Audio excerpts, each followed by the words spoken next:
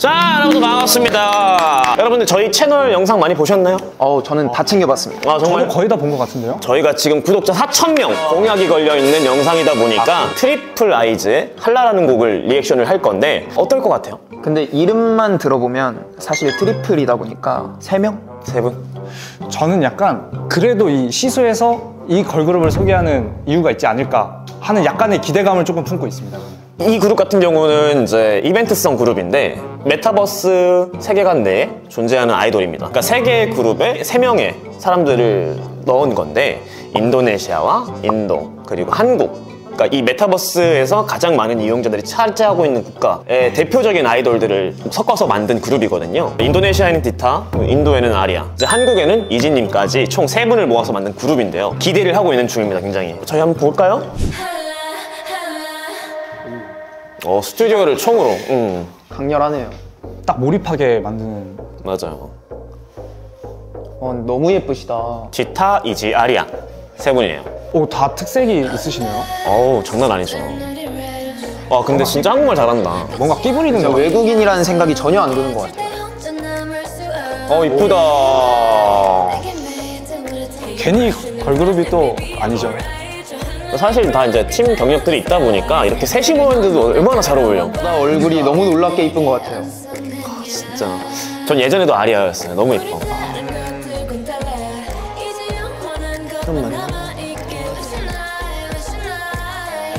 아, 근데 음색이 다들 너무 좋은 것 같은데. 정말 노래도 잘하고 춤도 잘 추는 겨- 실력파들이다 보니까. 와. 이게 다 퍼포먼스가 사실 별 효과가 없는데도 좀 웅장해 보이고 그런 게 좀 있네요. 아, 진짜 실력 좋다. 아우. 근데 세 명이 채울 수 있는 그 분위기를 압도하는 것 같아요. 맞아, 맞아. 진짜 그런 것 같은데요. 정말 이 실력파들 세명 모아놨는데. 아, 나 왜 이렇게 아쉽지? 아 마 모두가 느끼지 않을까요? 어우, 나 이거 좋아. 이런 땡구 좋아해. 근데 약간 분위기가 인도나 이런 계열 같지 않아요? 약간 약간 인도 인도네시아 이쪽. 피리 사운드나 이런 게. 아 근데 사실 배경이 좀 아쉽긴 합니다. 그러니까요. 아, 아 디타 너무 예뻐. 저는 계속 그 아리아? 아리아님? 네, 계속 아리아님 계속. 어 방금 방금 끌려. 경력자들인 티가 나네요. 아, 이거 다 너무 예뻐. 아. 사실 이게 여러분도 느낄 거예요. 모든 사람이 느낄 건데 너무 아쉽다. 돈 좀 더 쓰지. 구현할 돈이 있었을 텐데. 그러니까 SK텔레콤이 돈 많은데. 아, 진짜. 어. 대기업에서 또 진행을 하는 건데 좀 메타버스라고 생각을 하면 우리가 가상 세계 메타버스의 가장 강점을 가지고 있는 건 SM 타운이거든요. 광야라는 메타버스 세계가 있는데 에스파가 이제 정말 메타버스 세계관을 잘 이용하고 있는데 그런 너무 좋은 폼을 가지고 이거밖에 사용을 못했다에 대해서 너무 아쉬움이 크네요. 뭔가 또렷하진 않은 것 같아요. 어떤 주제인지를 사실 잘 모르겠는데 이 안에 있는 분들이 참 좋다 보니까 좋다 보니까 이게 좀 커버가 된 느낌? 맞아요. 제가 봤을 때는 모든 멤버들이 다 개인의 그룹이 있는 멤버들인데 다재다능하고 정말 좋은 이 멤버들을 데리고 와서 딱 이렇게 찍었을 때 실패를 할 수 없다는 생각이 저는 딱 보자마자 느꼈어요. 맞아. 다들 이쁘고 음. 색도 좋고 노래도 너무 좋았고 노래에 계속 그 피리 사운드가 이색적으로 들리는 게 저는 너무 좋았거든요.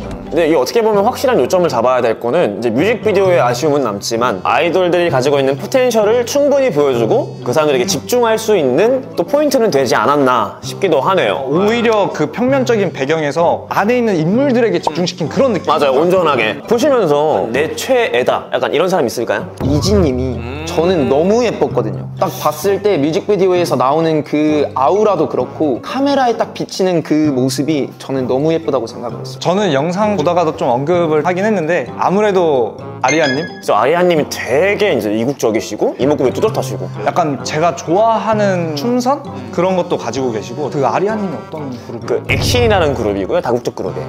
요즘 약간 이런 다국적 그룹이 좀 많이 나오는 것 같네요. 인도네시아, 인도나 태국이나 많은 나라들이 있는데 멤버 한 명 한 명들이 한국에 있는 부족한 부분들을 채워주다 보니까 또 그런 그룹이 많지 않나. 진짜 글로벌이네요. 이거. 맞아요. 근데 액신에 대해서 약간 좀 더 보고 싶긴 하거든요. 그러면 여러분들이 댓글로 남겨주시면 저희가 또다시 리액션 할 수 있습니다, 여러분들.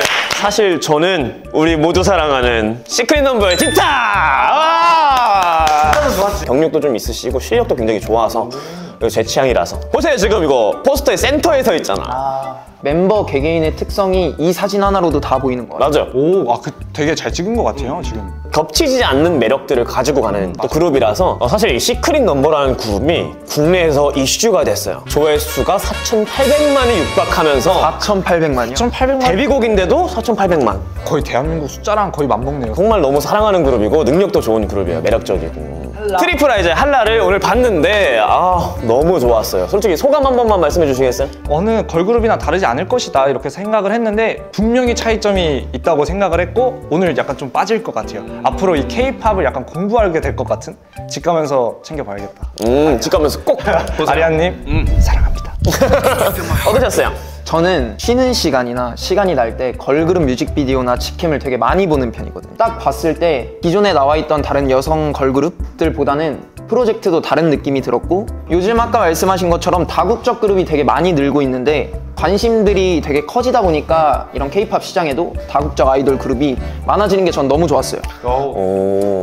저는 사실 이제 뭐 기존 그룹이 가지고 있는 매력과 아이덴티티와 차별점이 있어서 아 너무 독특하고 신선하지 않았나. 이런 메타버스적인 컨텐츠가 조금 더 늘었으면 좋겠다 싶은 것도 있습니다. 여러분들 댓글을 통해서 더 많은 그룹 더 보고 싶은 그룹 많이 남겨주세요. See you next time 고생하셨습니다. 고생하셨습니다